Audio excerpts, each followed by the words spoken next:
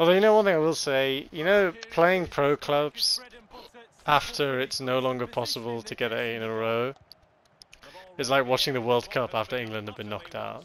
So, Yeah. so what's the point? Joe? So what? so I was watching England after they, sorry, watching the World Cup after England have been knocked out. So just watching the World Cup. Yeah. Watching the third place, third place playoff. Yeah, That's so. Which I don't think we won, did we? we lost both the Nations League and the uh, and the World Cup one. No, isn't isn't it like a World Club like third place playoff usually? It's like I'm cheer talking Arabic. I don't, I don't know what more I can do. Joe. I don't know. I'll try my best. But, but it's Oh, go on, sensational though if you score it now. Oh.